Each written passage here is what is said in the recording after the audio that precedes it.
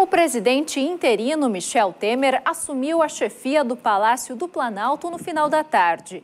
Ele vai permanecer no exercício do cargo por pelo menos 180 dias, prazo que o Senado Federal tem para concluir o julgamento do pedido de impeachment de Dilma Rousseff.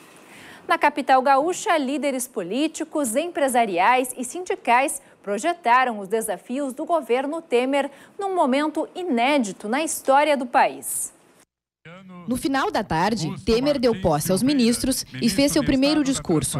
O presidente em exercício disse que o país unido pode enfrentar os desafios.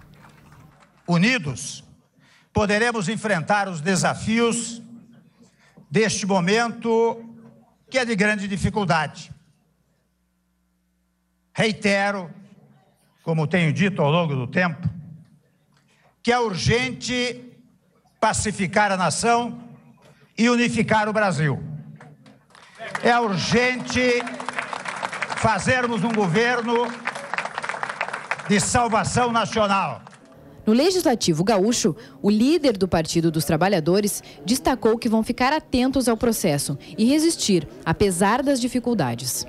Tem muito ainda pela frente, nós não entregamos as fichas, nós estamos, como eu disse, resistindo, nós não, ah, sabemos que a presidente Dilma é uma pessoa honrada. O Michel Temer não é um presidente eh, eh, legítimo, ele não fez nenhum voto. Paralelo ao processo de afastamento de Dilma, Temer assume o comando do país e tem curto espaço de tempo para tomar medidas, especialmente no campo econômico. 100% o principal desafio é a economia, né?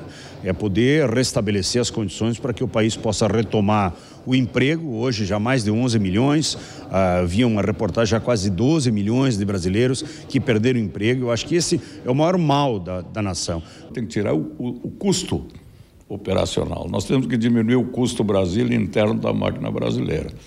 E se este governo, que tem que agir rápido, utilizar os mecanismos que aí estão, não é vai encontrar mecanismos bons, salutares dentro o presidente da Força Sindical disse que a entidade não vai admitir a perda de direitos trabalhistas.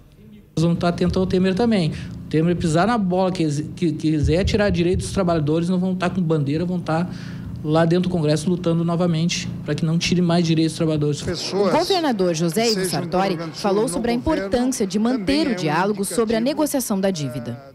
A dívida ela tem um caminho a ser perseguido que é determinado pelo Supremo Tribunal Federal, é buscar ver o entendimento entre os, os governadores e o Poder Executivo Federal.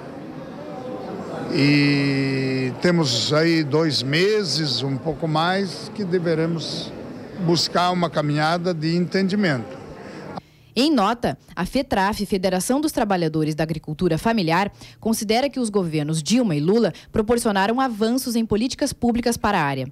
Para a entidade, a decisão é um golpe contra a agricultura familiar e o futuro.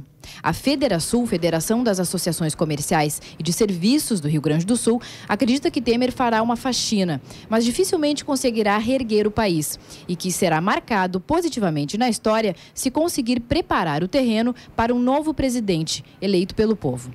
Já o Cindy Lojas reforça sua posição a favor do impeachment e diz que é hora de retomar o otimismo e o ânimo para o trabalho.